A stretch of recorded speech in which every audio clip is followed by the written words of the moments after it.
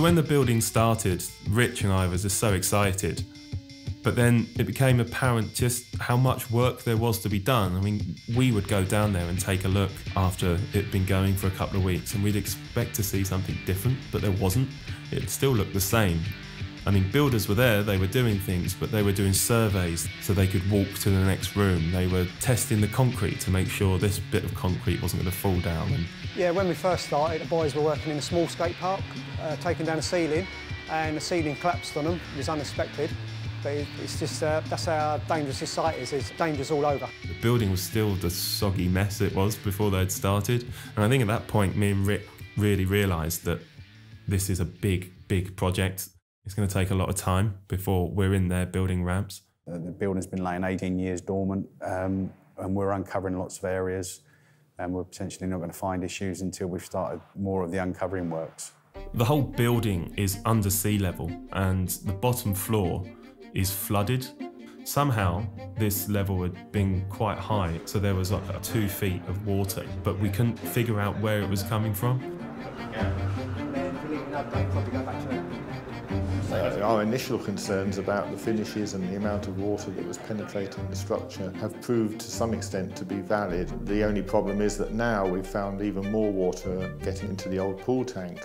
Uh, at the moment, it's not known where that's coming from. So trying to locate these leaks as well is, is a task. Uh, water travels, it may be dripping four metres away from where it's coming in. It would appear that it may be coming from the basement, which is permanently flooded uh, and being permanently pumped.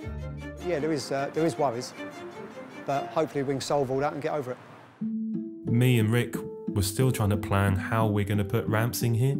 To deal with the building side of things was was important, but it was very hard for us not knowing how the building was going to be finished. We got Piers from 9C Ramps in to, to design and build the ramps for us. And this guy was a BMXer and skated a bit, so we knew he was a good guy. Starting out, obviously, that will be uh, doing the concept design um, for the, the skate park layout itself. Uh, moving on from that, myself and, and the team at 9C will be detail designing, machining, assembling, uh, and then obviously installing the skate park itself. Overall responsibility for the whole thing, basically. And he CNCs all the ramps together. We intensively use the CNC machine to make the parts uh, for the skate park. Unfortunately, in some ways, it doesn't actually make the skate park. Um, it only makes the parts for it.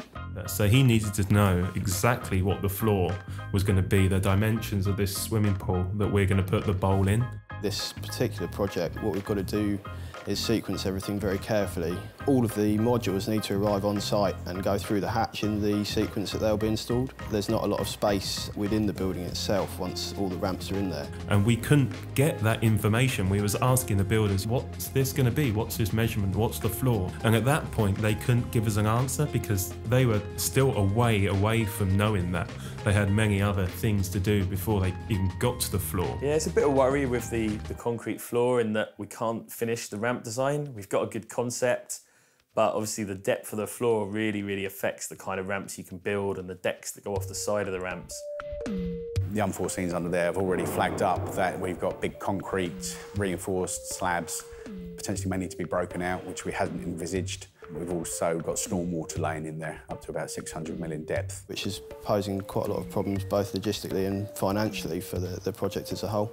We're going to pump it out and hopefully it doesn't come back. My gut feeling is that it will come back. But once we've got that sorted, it should make for a really interesting design with the uh, levels split throughout the park. We couldn't do anything. We couldn't make any ramps until we knew the depth of this end of the pool. We've ordered the wood, which takes three months to arrive in anticipation of the design being finalised, but it's a bit of a worry at the moment that, you know, five months before we're due to open, we don't have a final ramp plan. I remember walking underneath into the swimming pool with Piers with a torch, trying to figure out what was the deep end and what was the shallow end in the pitch black and water up to our knees. And then we was like, man, there's a lot of water in here. How are we going to put ramps in a swimming pool that is still half full with dirt and water? Obviously, what we're doing is putting a, a wooden structure within the pool itself. Whilst you can make boats out of wood, this isn't a boat, it's a skate park, and it's not designed to float. As he's an engineer, he saw problems that Rick and I hadn't seen. So he was he was a very angry man that day. I remember. The water has to go, uh, and it's got to go now. Where it's coming from, no one knows. Where it's going to at the moment is nowhere fast, which obviously poses a fairly major problem uh, overall. And I remember it being quite funny just how many problems he found. He was, you know, he was pointing at this going, why have the builders done this? Why have they done this? And But if we're going to put this, this street stuff through here, then that really needs to move. Yeah, It needs to move. Yeah. Imagine we've got to build the floor up like six inches tall. this should be here. I've got to put a ramp here. How can I put a ramp here if this has been done by the builders? The problem is, Mark, is that if they, if someone had sorted all this stuff out, then the council would have had the money to pay for the floor. There was so much conflict between what the builders were doing to get the building up to scratch and what he needed from them to put ramps in. Probably board that and get a wall ride out. And it did dawn on us. It was just like, oh wow, there are there are some more problems here than what we first realised.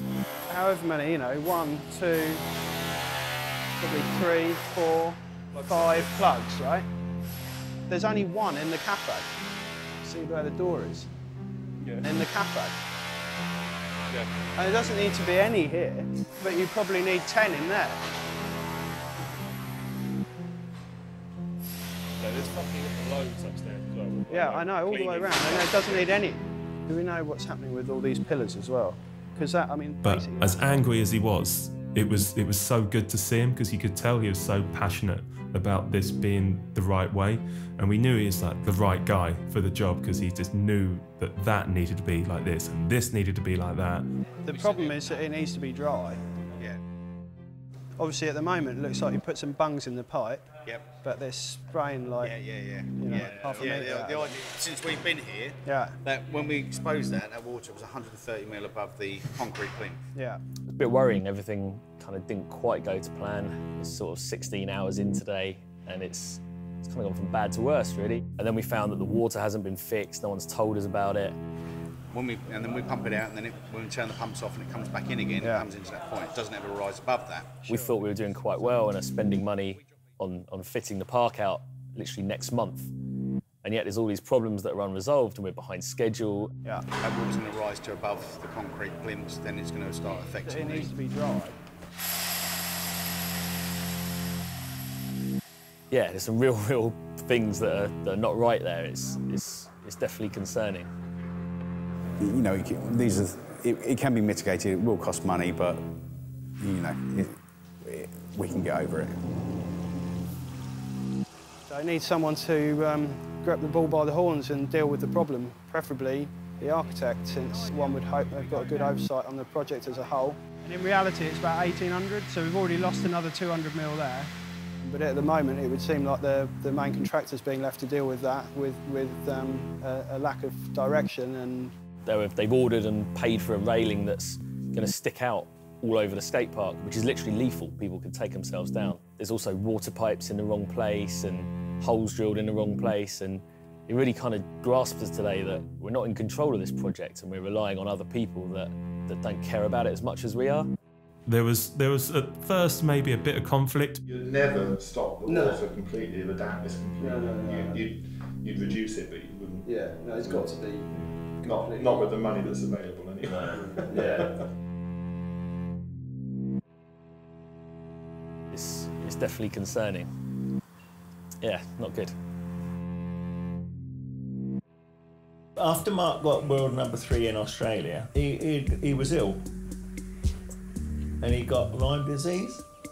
And in Bexhill, there wasn't really a race scene left. The track. And by that time, I'd started university and I'd been travelling. I found myself not really having much to do. He was at home and he was not at all well, but uh, as he improved, I said, Well, you've got to get a job of some sort. Basically, quit college and spent all day at the woods digging jumps. The strongest scene around Bexhill was always the Sidley Woods Trails. And when I come back to Bexhill, the only scene left was trails and street riding. I used to bunk off school to go up there and dig. I remember there was people up there like Ricky Bollington and Tom Hooper and some really cool locals. yeah, definitely got fond memories of, of growing up with yeah, a lot of my friends all testing yourself and scaring yourself and crashing. As a kid witnessing it, I didn't really realise how good it was until later on in life. All day up there building jumps, riding jumps, building trails, riding trails. Instead of racing, it was all the fun of racing without the pedaling.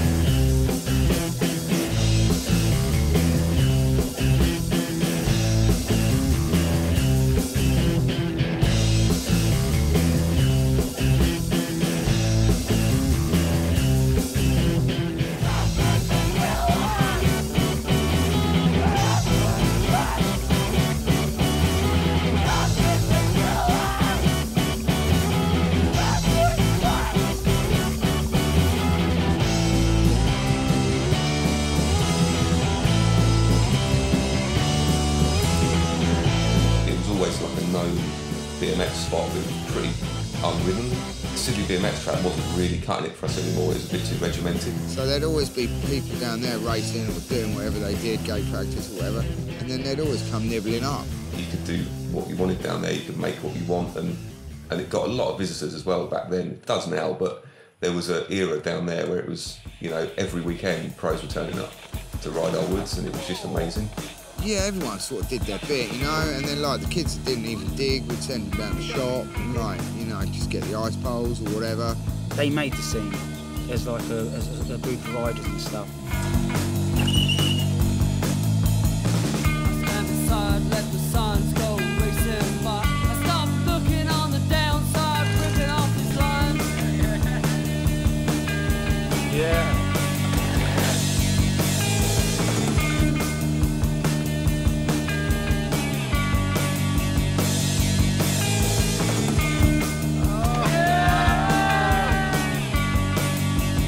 Mark coming up here and stuff, he was definitely an influence on some of the, the, the scene. It was good to have people like that here. And it's just all about having fun really on your bikes and, and enjoying the stuff that you've built.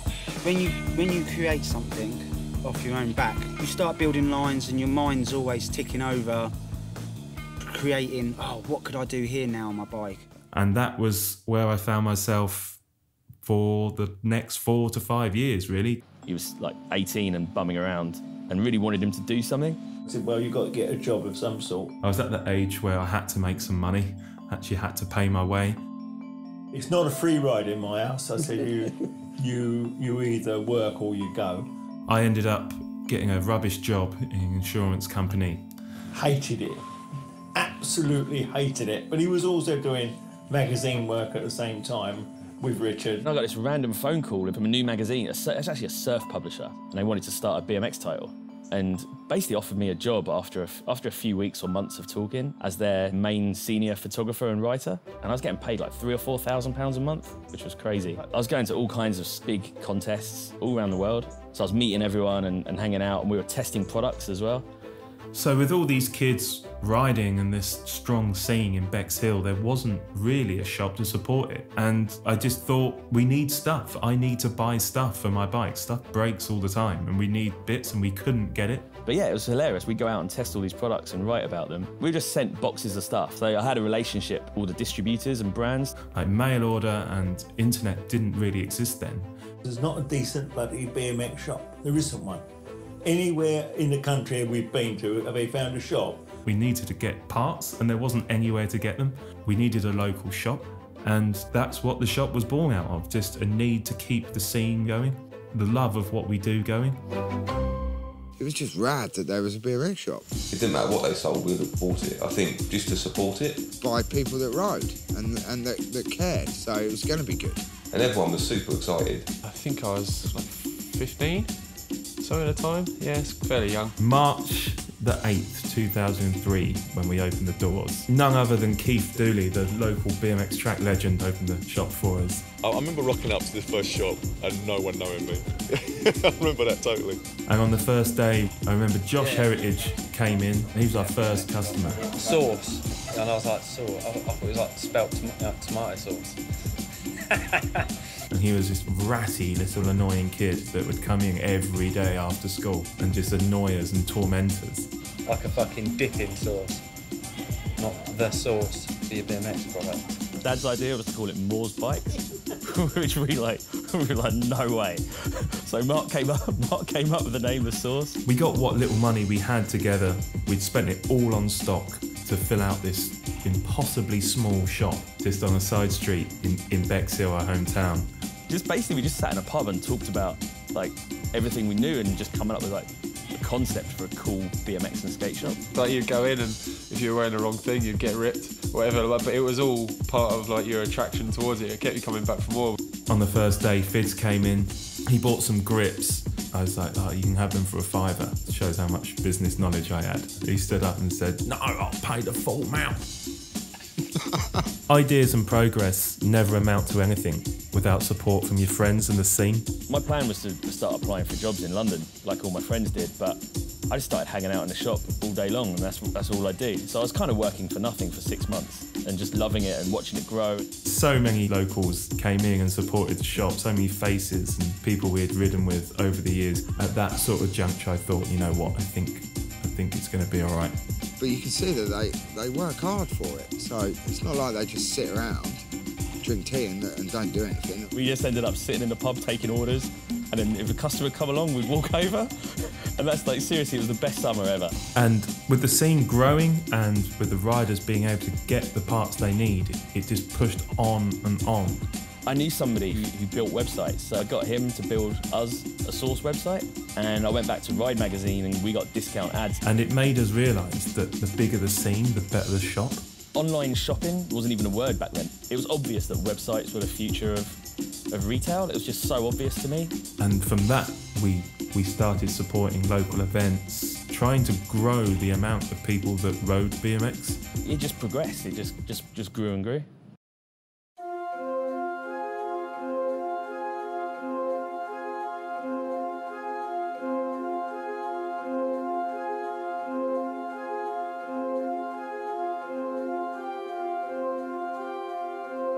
Got the instruction to lower the, uh, 70% of the, the main concrete plank floor in the what was the original bars. Now we're taking those out because the source want to use that sunken area of the pool for their, their ramps, gives them you know higher jump capacity. We have to form a concrete wall all the way along this section here so that we've got a bearing point for when they lower down. We're well on the way with that. Quite a task really. It's very, very labour intensive. I would imagine we're about another two weeks off completing that area. The retail area is pretty much well into the second fix stages. Doors are going on, ironmongery is going on, plasterboard's been done, the plasterers are coming in later on this week and we're going to be working alongside the source because they're going to start wanting to fit out those areas. And we just work together with them to make sure that we can um, meet a programme agreeable to everyone in that area.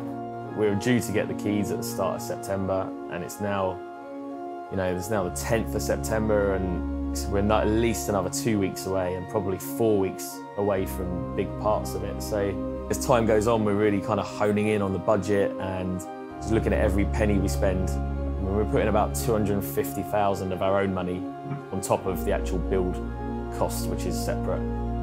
Uh, we've obviously been working on the design of our shop fit and ramps for so long now, and it's, it's, it's a bit worrying looking at something so new going into such an old building and how how haggard it is really. I think people might be expecting something new and shiny and, and it, it definitely isn't that. Six weeks have passed since we were measuring up on site before the floor removal. In that time we've been able to progress the uh, concept design to a point. There's still some uncertainty from the floor levels um, between the floor that's being lowered and the pre-existing floor level.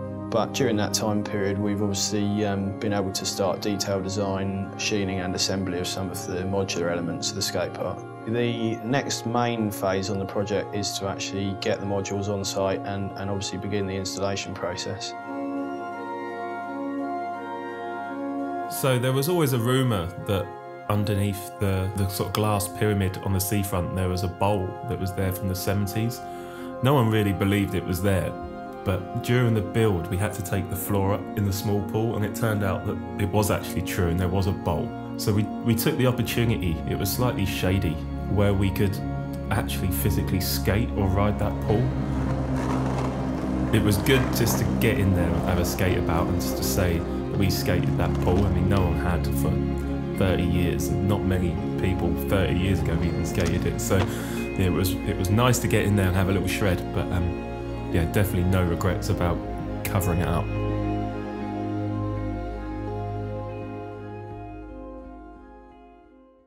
After 18 months or so, it became quite apparent that we'd, we'd run out of space in our tiny little shop on a side street at Bexhill. We made the bold move of about five doors down, which was a, a much bigger shop. So this was the first shop fit we had that actually had a deadline. And I remember our friends just pitching in from the scene. I know Fids was a carpenter, so he was in building counters with Ben. That's just part of BMX, isn't it? Like if you're if you're into BMX, then then uh, and you like trails, whatever, then you go off and build your own fun. We had a welder in there.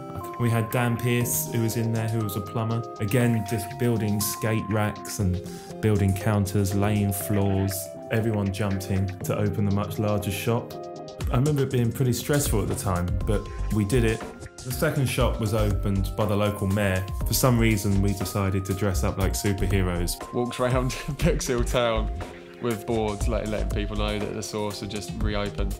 The second shop being bigger allowed us to start employing our friends, the guys from the scene. The first people were Ricky, and he was just because he was hanging out in the shop and we got him to build a wheel. Second was Jamie, and, and that was because he was a postman, so finished work at midday.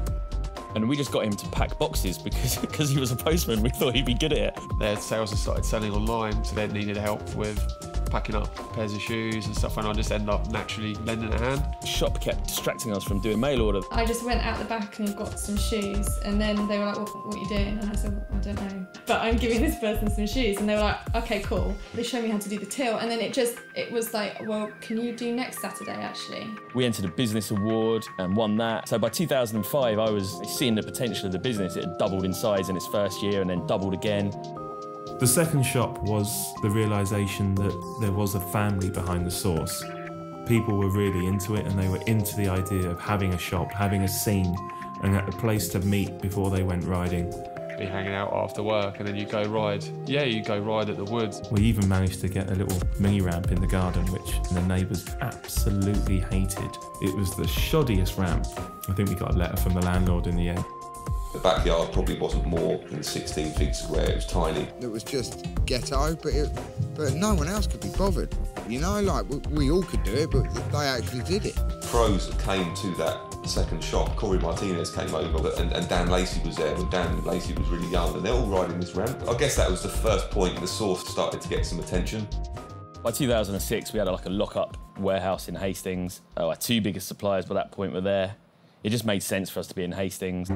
The scene was also there. There was more things to riding Hastings. And us that rode were in Hastings most of the time riding. And the guys who rode in Hastings had to travel to Bexhill. So it made perfect sense to move to Hastings. Yeah, you know, like it was just crazy, wasn't it? Because they had their shop in Bexhill, then they went to the high street in Hastings, which is nuts. It was our third horrific ordeal at fitting out a shop against the clock. Half our customers come and helped, and we were there till four or five in the morning. Yeah, that, that shop fit was mental.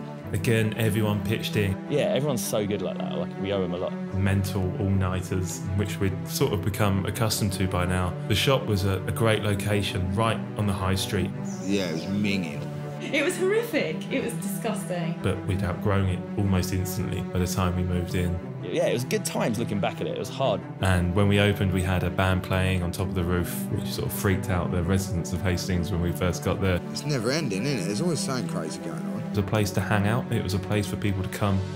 We finally cemented a team and started publicising. The first DVD came out called Deal With It.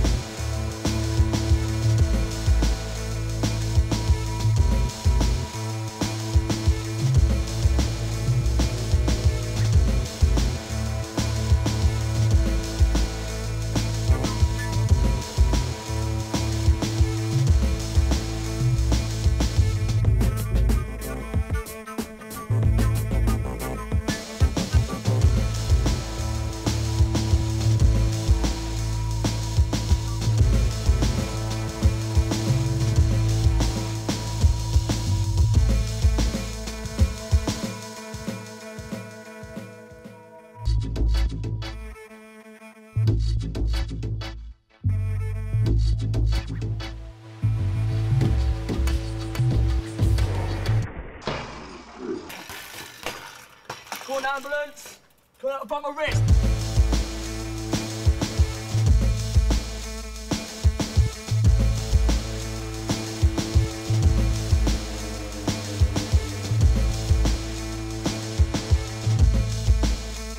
and that was premiered at the local nightclub called the Brass Monkey, and it was just full carnage. Everyone turned up in fancy dress, and the whole scene got together, watched this video where everyone was in, and it was just the best time, and it it made you realise why you were doing it.